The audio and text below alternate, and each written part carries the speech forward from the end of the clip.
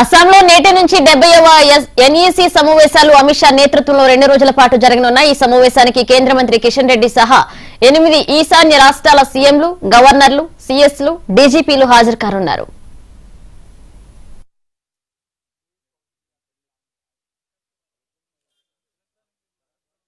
కానున్నారు